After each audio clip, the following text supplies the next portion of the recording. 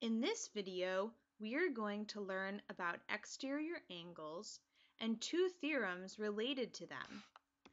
First, let's figure out what an exterior angle is. If I were to draw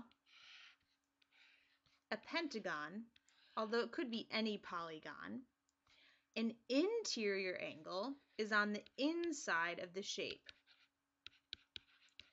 An exterior angle will be on the outside of the shape. So the way you get an exterior angle is to extend one of the sides of the shape and then the angle created on the outside is an exterior angle.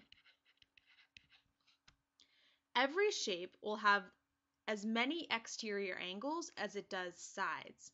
So this pentagon has five exterior angles because if we go around, there are five sides to extend and each of them will create an exterior angle.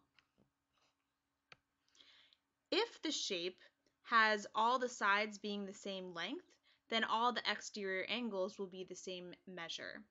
But if not, there's still an interesting relationship between all the exterior angles. And this is one of the first theorems. So the first theorem says the sum of the exterior angles is always 360 degrees.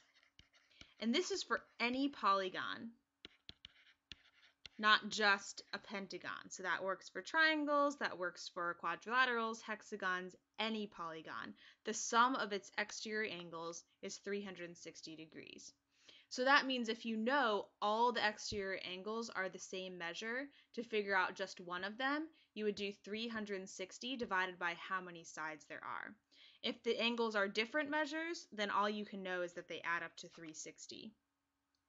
Now another interesting thing about exterior angles has to do with a triangle. So we're going to draw a picture here and try to derive this second theorem. So I'm going to draw a triangle and one exterior angle over here, which I'm going to call x. In the triangle, the three angles I'm going to call A, B, and C. So this second theorem will say that uh, the measure of angle x equals the measure of angle B plus the measure of angle C. In other words, an outside angle, an exterior angle, will equal the same thing as the sum of the other two angles in the triangle not touching the exterior angle. So these are called the remote interior angles. Now, I told you what it is. Now let's think about why. Okay, so in this picture, we know two things at least. We know that the measure of angle x plus the measure of angle A equals 180 degrees. And we know that because these two angles are a linear pair. So they make a straight line, so they have to equal 180 degrees. Now we also know, because of the triangle sum theorem, that the measure of angle A plus the measure of angle B plus the measure of angle C also equals 180 degrees. Now, if we combine these two equations together, we'll end up with this result that I said earlier, that angle x has to equal measure of angle b plus the measure of angle c. So to get this, what you want to do is subtract the measure of angle a from both sides of each equation. So the first equation, when you do that, becomes the measure of angle x equals 180 minus the measure of angle A. When you minus the angle A from both sides, that's what you get.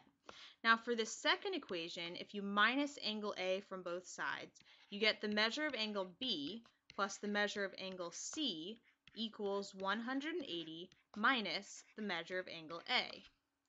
Now what you should notice here is that we have 180 minus angle A in both cases, which means that the measure of angle x has to equal the measure of angle b plus the measure of angle c, because they both equal 180 minus the measure of angle a.